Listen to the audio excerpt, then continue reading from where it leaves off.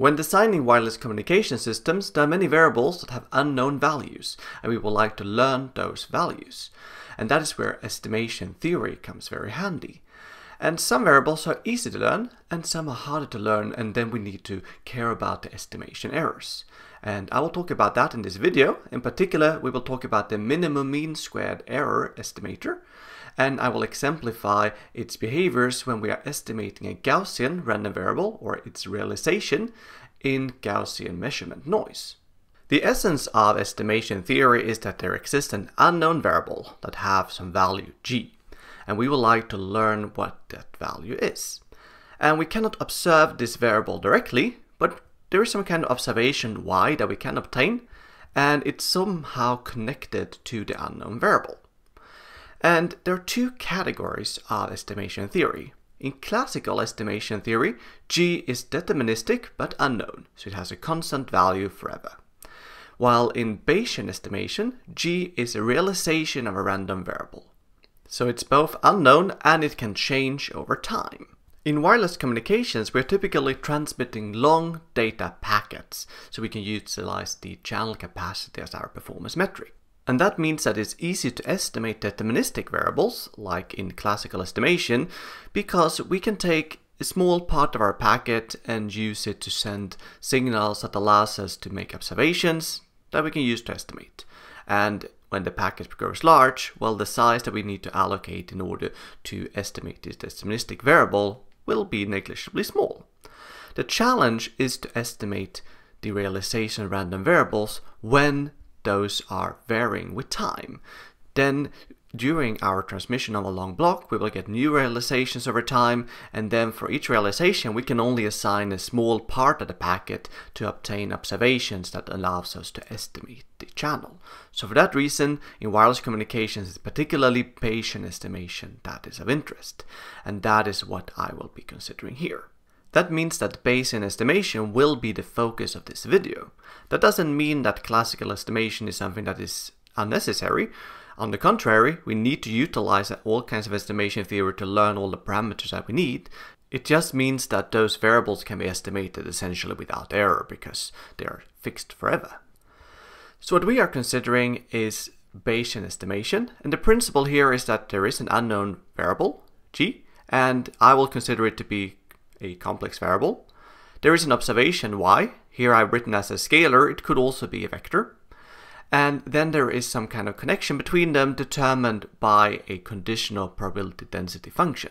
So this is the probability density function or PDF of g when we have observed a realization of y. So based on observation of y, how will g be distributed?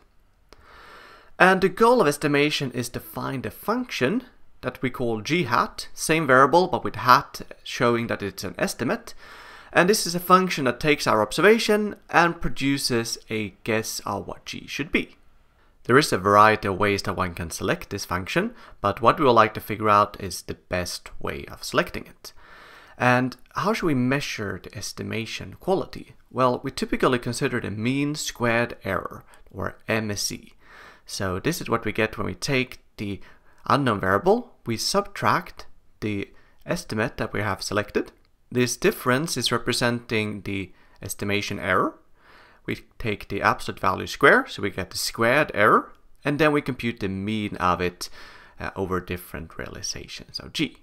The mean squared error is essentially the variance of the estimation error, and we would like to make that variance as small as possible, and the estimator that is doing that is called the minimum MSE or MMSE estimator. One can show mathematically that the conditional mean here, so the expected value of g given the realization of y that we have observed, is the function that is minimizing the MSE. And the conditional mean is computed using this conditional PDF like this. I think this result make intuitive sense because when we have made a certain observation, there are different values of this unknown variable that could have produced this observation. And among all of those ones, we are considering how likely they are, and then we are computing the average value, like this. I will now give an example of how we can compute the MMSE estimate for a wireless communication problem. So suppose we have this communication channel here, we have a signal x that is transmitted over a channel, is multiplied with the channel response g. We add independent Gaussian noise, which have a variance n naught, and what we receive is y, which is equal to x times g, plus n, which was the noise. Our goal here is to estimate the value of g. And to do that using Bayesian estimation, we need to assign a prior distribution to g. And we are assuming here that it's a realization of a complex Gaussian distribution with zero mean and variance that we will call beta. So g is the unknown variable, and what we observe is y, which is g times x plus n. And in order to be able to estimate g, we need to deal with x here. x is something that we are transmitting, and we will assume that we are transmitting a known signal. We can choose a deterministic number, and we call this often a pilot signal when we are transmitting over a channel. That means that x is known, g is unknown, and n is also an unknown noise term. The thing that makes the estimation challenging is the fact that we are observing a scaled version of the variable g in measurement noise. For the observation y, we can characterize its properties. We can look at this marginal distribution. We know that y is a summation of g, which is complex Gaussian, n, which is complex Gaussian. They are assumed to be independent. So y will be complex Gaussian, have zero mean, just as the two variables. And we are summing up the variances. Beta times absolute value square of x. This is the scaling that x is providing us with. And n naught, which is the variance of the noise. It is also easy to characterize the distribution of y when g is known. So in that case, we can subtract g times x because x is known, g is known. What is left here is only the noise. So y minus g times x is just a noise, which is complex Gaussian distribution with n naught as its variance. So this tells us something about the conditional distribution of y when g is known. But in order to compute the MMSE estimate, we need to know the opposite the conditional distribution of g given y, because y is what we are observing. And we can obtain that conditional distribution based on what we already know. So we have the unknown variable, we have the observation, and there is a connection between them, and that is a connection determined by the statistics. The joint probability density function of two random variables can be written as this. Joint PDF here of g and y and it can be divided up into two different parts. One is the conditional PDF of g given y, multiplied with the marginal PDF of y. We can also write it in the opposite order, the conditional PDF of y given g, and that is multiplied with the marginal PDF of g. Based on the equality between these two last terms, we can get what is known as Bayes' theorem. We are dividing both terms here with the PDF of y, we are then getting that the conditional PDF of g, the unknown variable, given the observation y, is equal to the conditional PDF of the observation, given the unknown, multiplied with the marginal PDF of the unknown, divided with the marginal PDF of the observation.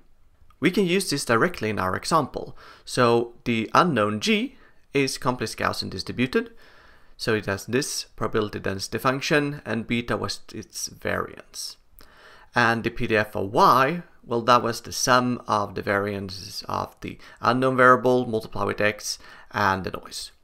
So here is its PDF. It's a Gaussian distributed as well. Here is the variance. Here is y.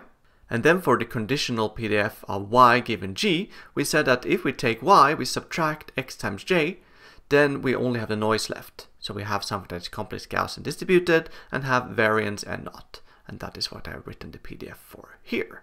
So this is the conditional PDF of g given y, and we can rewrite it so that we are gathering all the terms contained in g at just one location, over here.